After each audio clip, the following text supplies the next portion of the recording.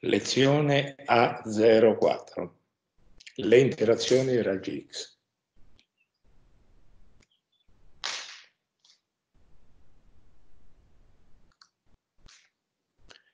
I fotoni che attraversano il paziente possono essere assorbiti, diffusi o trasmessi.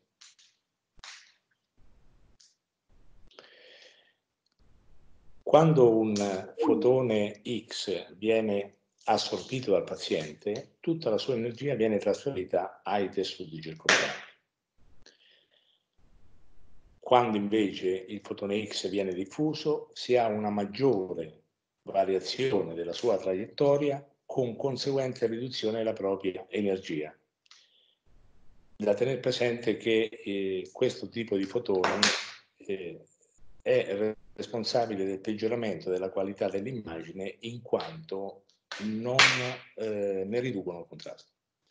Un fotone X trasmesso è un fotone che attraversa il paziente senza interagire con le sue strutture biologiche e che interagisce direttamente con il sistema di rilevazione dell'immagine.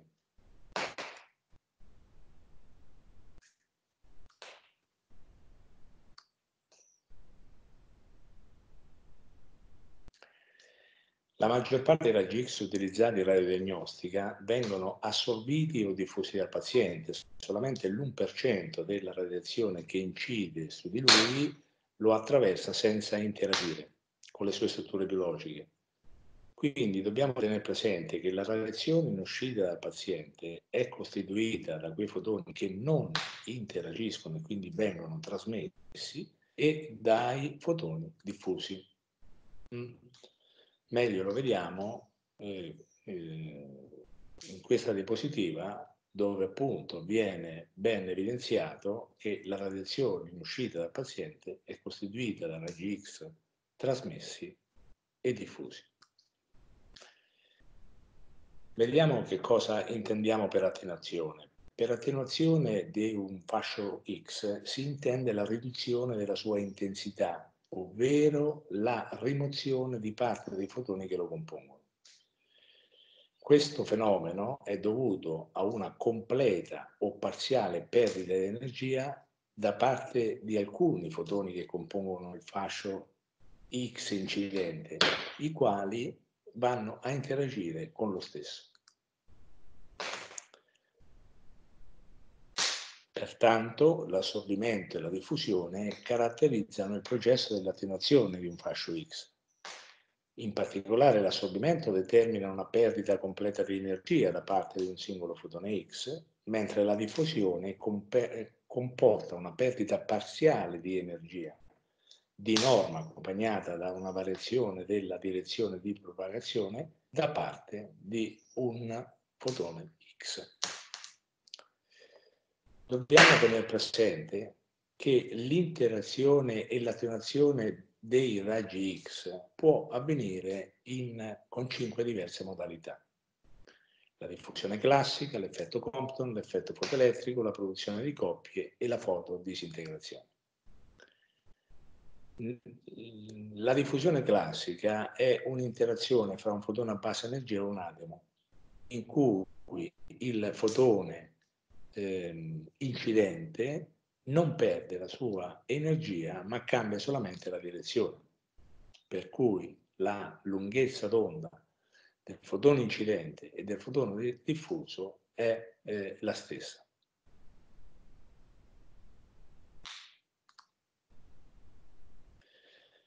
Nella diffusione classica il fotone incidente interagisce con un atomo bersaglio al quale cede la sua energia portandolo quindi ad uno stato eccitato l'atomo bersaglio che si trova, si viene a trovare in una situazione instabile, riceve immediatamente questa energia in eccesso sotto forma di un fotone di lunghezza d'onda e quindi di energia uguale a quella del fotone incidente. La direzione del fotone secondario è diversa da quella del fotone incidente. Il risultato finale del fenomeno è pertanto la variazione della direzione del fotone senza la perdita di energia. quindi nella diffusione classica non c'è alcuna perdita di energia da parte del fotone X e non si ha ionizzazione dell'atomo bersaglio. In radiodiagnostica il fenomeno ha poca importanza perché interessa fotoni a bassa energia, cioè con un'energia inferiore a DG Questo tipo di fotoni, tuttavia, contribuisce a eh, creare la cosiddetta velatura dell'immagine, ovvero un sottofondo grigio del, del radiogramma causato da fotoni che non portano con sé nessuna informazione utile. L'effetto Compton invece è l'interazione tra un fotone di energia moderata e un elettrone orbitale esterno che produce la ionizzazione dell'atomo colpito, una variazione della lunghezza d'onda e quindi una riduzione di da parte del eh, fotone emergente che ha anche una direzione diversa.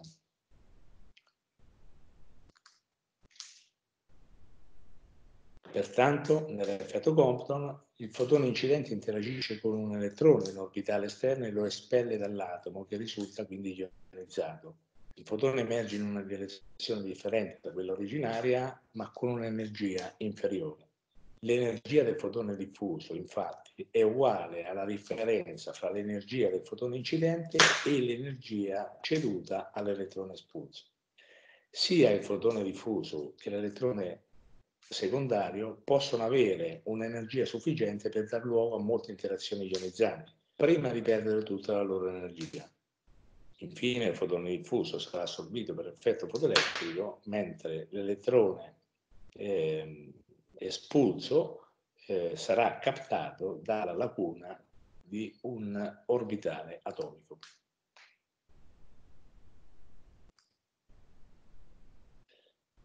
Vediamo alcune caratteristiche dell'effetto Compton. La probabilità che un fotone subisca un'interazione Compton, pur essendo una funzione complicata dell'energia del fotone, eh, ci consente di dire che in realtà la probabilità che si verifichi questo fenomeno diminuisce al crescere dell'energia raggi X. Inoltre la probabilità dell'interazione Compton è quasi indipendente dal numero atomico dell'atomo bersaglio, nel senso che ogni fotone ha la stessa probabilità di subire un'interazione Compton sia con un atomo di tessuto molle che con un atomo di tessuto osseo. Inoltre la diffusione Compton può venire a tutte le energie dei raggi X usati in radiodiagnostica e per questo è un eh, fenomeno da eh, tenere costantemente sotto controllo tenendo presente che, come abbiamo detto, le radiazioni diffuse e quindi eh, i fotoni Compton eh, devono essere ridotti il più possibile. I due grafici ci dimostrano come la probabilità di interazione di un fotone negli atomi del tessuto molle, grafico A, che del tessuto, osseo, grafico B. E questa probabilità aumenta, diminuisce all'aumentare dell'energia del fotone. L'effetto fotoelettrico è un effetto in cui il fotone incidente è totalmente assorbito nella sua eh, totalità in seguito a un'interazione con un elettrone di un orbitale esterno e questo eh, elettrone orbitale, normalmente livello K, che ha detto fotoelettrone, è eh, eliminato dall'atomo che risulta quindi ionizzato. Il fotone incidente quindi nell'effetto fotoelettrico viene completamente assorbito dall'atomo e la sua energia è interamente ceduta ad un elettrone appartenente a un orbitale interno. Questo elettrone chiamato fotoelettrone successivamente riassorbito dal mezzo, viene espulso dall'atomo che quindi si ionizza. L'espulsione dell'elettrone, e solitamente si tratta di un elettrone all'orbitale K, provoca un buco elettronico che viene riempito da un elettrone appartenente ad un orbitale superiore, con conseguente produzione di radiazione caratteristica. I raggi caratteristici, la cui energia è pari alla differenza dell'energia di legame degli orbitali coinvolti, costituiscono la cosiddetta radiazione secondaria, che ha un comportamento analogo alla radiazione diffusa, cioè non forniscono alcun contributo diagnostico alla formazione dell'immagine. L'effetto fotoelettrico è innanzitutto un fenomeno soglia, nel senso che può avvenire solo se il fotone incidente possiede un'energia uguale o superiore, più probabile se prossima, alla energia di legame dell'elettrone bersaglio. E l'effetto fotoelettrico presenta queste caratteristiche. La probabilità che si verifichi è inversamente proporzionale alla terza potenza dell'energia del fotone ed è direttamente proporzionale alla terza potenza del numero atomico dell'elemento assorbitore.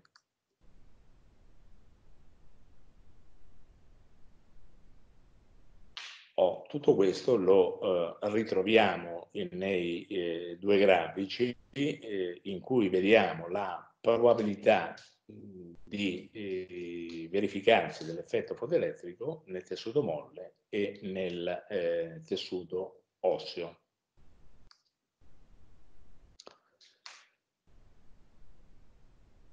L'altro meccanismo di interazione della GX con la materia prende il nome di produzione di coppie.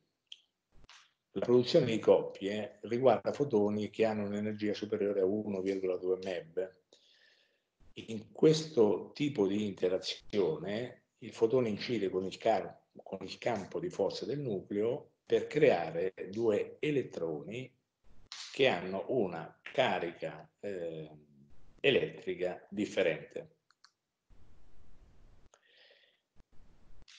In questo tipo di interazione il fotone incidente sfugge all'interazione con la nube elettronica dell'atomo e arriva abbastanza vicino al nucleo così da risentire l'influenza del campo di forza nucleare.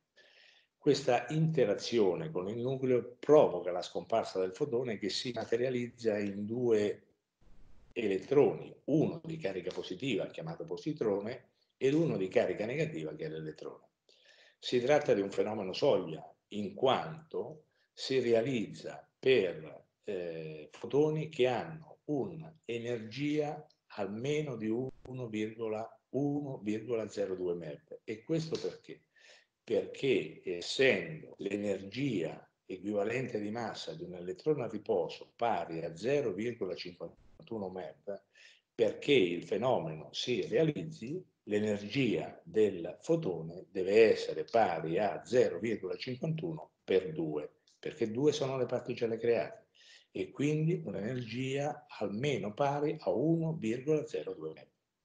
Tutta l'energia eccedente, questo valore viene distribuita in ugual misura tra le due particelle sotto forma di energia cinetica.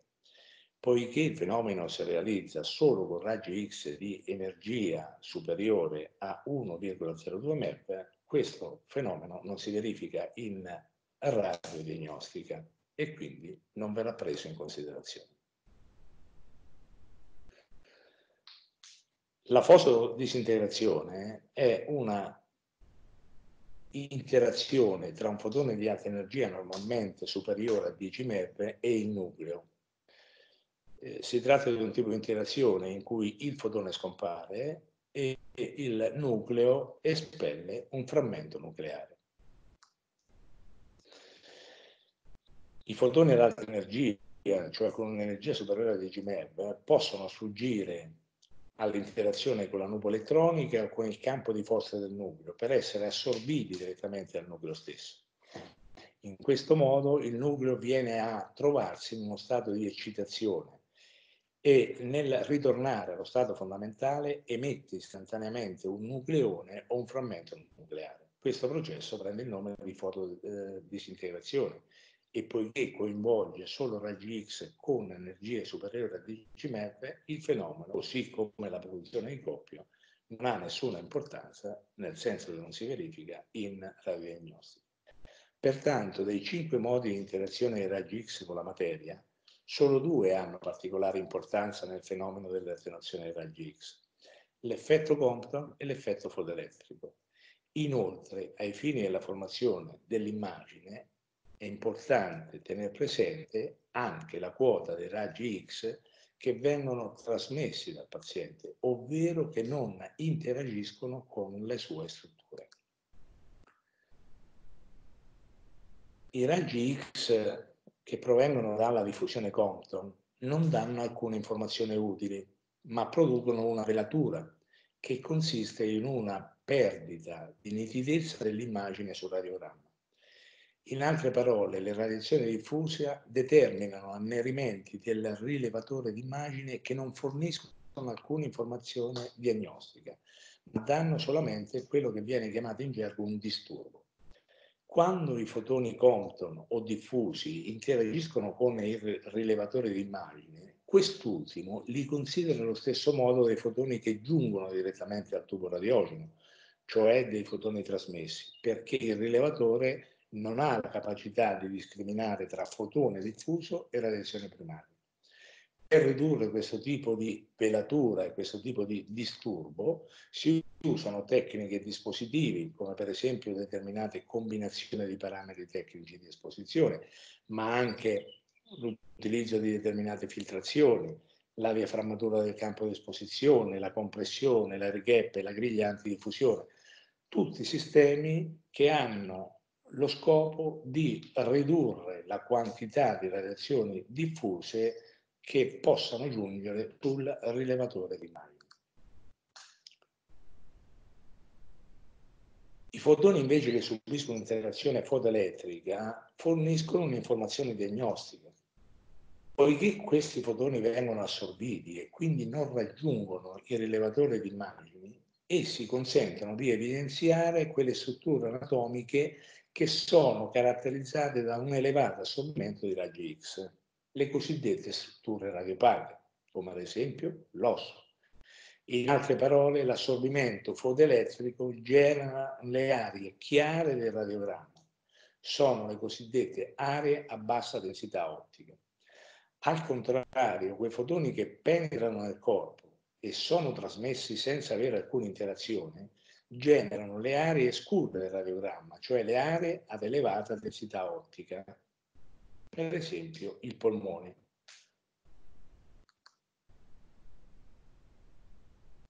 L'attenuazione dei raggi X è condizionata da una serie di fattori, per i loro combinati, come il numero atomico del tessuto, la sua densità, il suo spessore e l'energia della radiazione. Tutti questi fattori influenzano l'immagine radiologica in quanto al crescere dell'energia dei raggi X aumenta il numero dei fotoni trasmessi, cioè diminuisce l'attenuazione. Aumentando la densità, il numero atomico e lo spessore, diminuisce invece il numero dei fotoni trasmessi ed aumenta l'attenuazione. Vediamo in che modo l'attenuazione dei raggi X è condizionata dal numero atomico del tessuto e dall'energia della radiazione. Teniamo presente che un'immagine radiografica è il risultato della differenza fra la quantità di raggi X assorbiti per effetto fotoelettrico e quelli non assorbiti del tutto. Questo valore prende il nome di assorbimento differenziale. Pertanto, l'assorbimento differenziale della radiazione è legato alla probabilità relativa di interazione della radiazione per effetto fotoelettrico. Quindi l'assorbimento differenziale aumenta se si diminuisce il valore del kilovoltaggio, situazione questa in cui è, è più probabile che si realizzi l'interazione fotoelettrica. Sfortunatamente, diminuendo il kilovoltaggio, è necessario incrementare il valore del milliamperaggio e quindi un incremento della dose al paziente. Ricordando che la probabilità di assorbimento fotoelettrico è proporzionale alla terza potenza del numero atomico del materiale assorbitore, per l'osso questa probabilità di interazione fotoelettrica è circa sette volte maggiore che per il tessuto molle.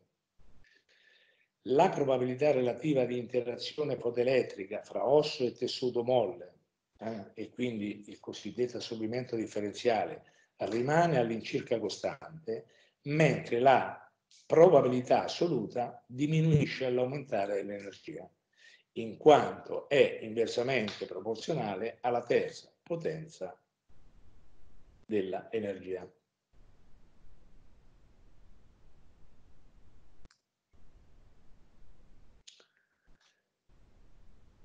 La diffusione Compton è indipendente dal numero atomico del materiale assorbitore. Le probabilità di tale fenomeno per gli atomi dell'osso e del tessuto molle sono quindi uguali.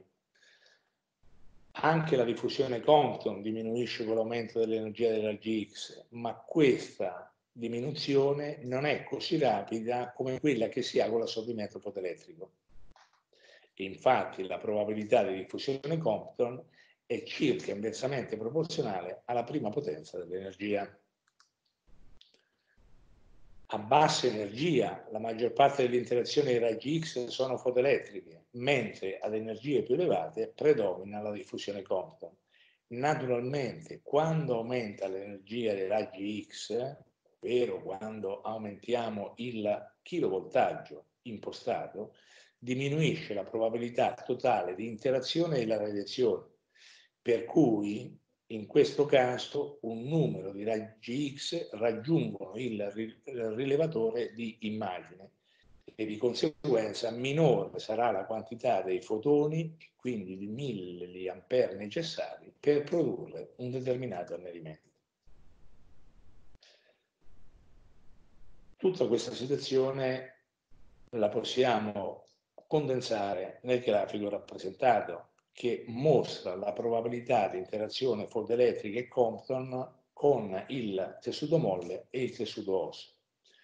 Le intersezioni delle curve indicano le energie dei raggi X alle quali la probabilità di assorbimento fotoelettrico è uguale alla probabilità di diffusione Compton. Tenendo presente che per basse energie prevale l'effetto fotoelettrico, mentre per altre energie si ha una prevalenza dell'effetto Compton. Vediamo come l'energia della reazione condiziona l'attenuazione dei raggi X. Variando l'energia dei raggi X si modifica la capacità di penetrazione del fascio.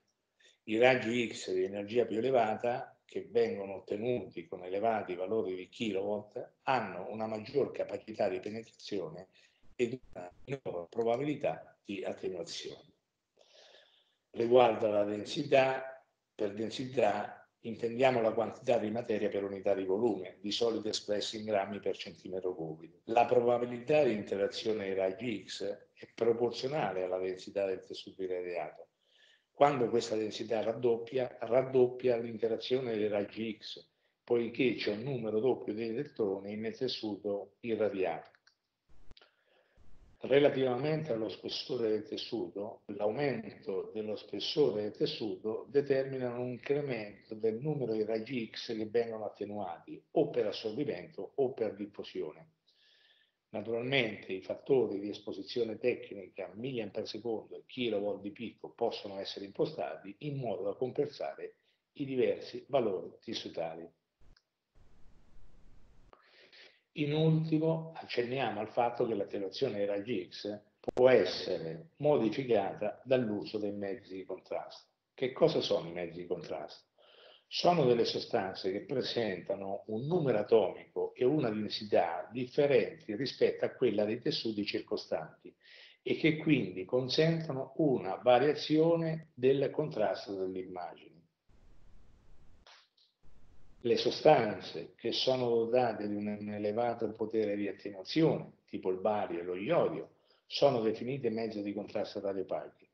Le sostanze con un basso potere di attenuazione, come l'aria, sono chiamate mezzo di contrasto radiotrasparenti. Grazie.